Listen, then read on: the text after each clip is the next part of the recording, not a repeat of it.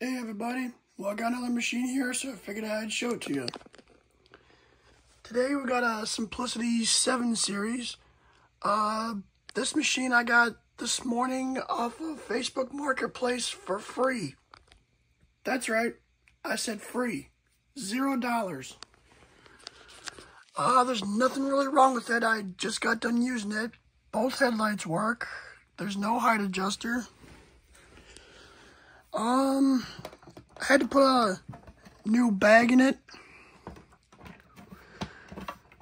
I get this shut here.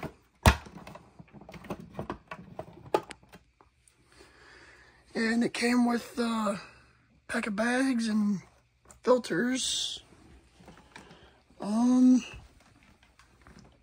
no attachment set, which I'm assuming you can buy the aftermarket ones to put in there, but I'm not sure.